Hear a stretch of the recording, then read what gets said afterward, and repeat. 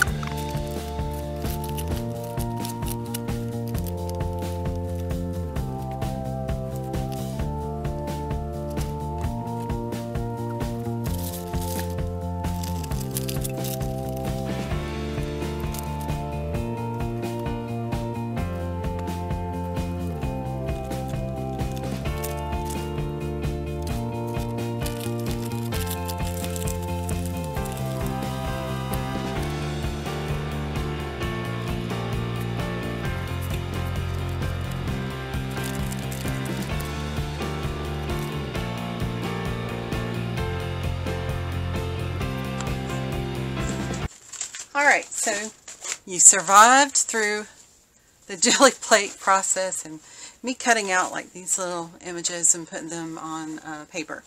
So, saw me do that. So what I did after that was I ran I ran everything through my printer. And like I said, it made made them kind of muted. So I want to show you what I came up with and also some of the other ideas that I had. So the other ideas I had first are I um, ran them through my printer and this is just a, a an adult coloring page. And you can if you I don't know if you can see but there are flowers and things behind here. But it made it kind of a dripping Halloween picture because of that. So that's that's one. This one I ran through my printer but I I ran a puzzle through the printer instead of regular copy paper see? So you have a little bit of that background there too and it has maze on on the side but you know when I go put it in my journal I may may end up cutting that off but I made a really cool pattern on underneath the pattern that I made. So there's that. Then um, I want to show you the muted colors. So this this one is the original. That's what I started out with. This one is the copy. So see how it kind of muted that color? So it's not, you know, if you don't want it in your face and if you don't want to use your original jelly print, you can run it through your printer and make pages that way too. So there's that. And uh, here are some other ones I did. And I forgot to tell you, I copied on both pages. So it kind of made a double-sided paper. That to me is just, you know, easier than just having all that blank space that I'm kind of used to doing. So I have double-sided paper here. So all of these are just, just as prints that you saw me make. And they're just, just ones that I copied. I just, that's all I did. I'm not saying they're great. I'm just saying that's what I did. and that one's kind of cool. It kind of looks like a spider web. So, and you know, here's here's one of the prints where I cut cut the image out. Let's see if I can find that one. I cut the image out and put it down on my paper. And of course I can't find it offhand. Let's see can find it real fast. Doubtful, but I'll try. Okay.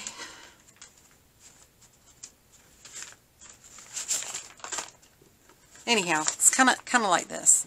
You, I pasted the images on top of another painted paper. Okay, that's what I did. So that just kind of muted those images a little bit. See, so they're, you know, they're not, they're nice and smooth and not in your face. And there some pose things here that I put on the side. Here's that. Here's one I just did. That's a better example, I guess. so you can see the original and then where I printed it out. So that's what that looks like. So it just kind of tones it down a little bit. And I print with an inkjet printer, so I've got to show you the back of that one. That's the back. And all these pages are going to kind of get covered up with goodies anyway when I put them in my journal, so I wanted kind of plain papers that I could add other things on top of. So Here's this one. There's my bats one. And um, all I did on this one was I took a paintbrush and just, you saw me do it, just draw. I just thought to myself, why, why not just draw little bats with a paintbrush? So that's what I did there, and that's what it printed as. Now, when you do that, you have to print backwards. So you can tell on this one, even though I don't really care because it's crazy, I did my ass backwards. so, but anyway, here's that one. and then here's another one that I did where I pasted the little um, images on top here, right there. And uh, that's one of the homemade stamps that I have. I don't know if I bothered to show you, but I made homemade stamps. This is an old tile. I think it's a tile sample that I got. And I took some, um, uh, what do you call it, uh, foam, fun foam, and I drew on it and then I pasted it onto another piece of fun foam and made a homemade stamp. So that is what is right here. That's all homemade stamp there. So that's that's that one. There's the back of that one where I just kind of emptied my roller onto it. And I think underneath here is a printable. So, you know, hey, you got yucky printables. I'm not saying this, this one's yucky. It's just one I had on hand. But if you do have yucky printables that you don't really like, Use them in your jelly plates. Paint over them. you know, create something else. So there's that. And then these are just witches hats. And what I'll do when I put it in my journal is I'll just go over this with some ink or something. And then that's the back. So that's it. That's it for today. That's all I got. I was trying to think of, uh, I was actually impatiently waiting on some uh, Halloween paper to come in. And I thought to myself, why don't I just make my own? I mean, you don't have to buy Halloween paper to put in your journals. You can paint your own. And if you don't have a jelly plate, just grab some old paint and throw it down and start, you know, playing with it like you did in kindergarten. And then if you want to save them, just, um, just print them, you know, copy and print. That's it. And so I've got these now that I can use for another project. So that's that. There you go. Thanks for coming by to see me, and uh, I hope you have a great day, and I'll see you soon. Bye.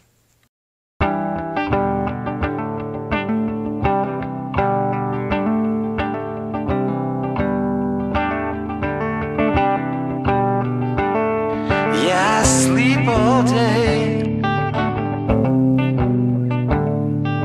Sleep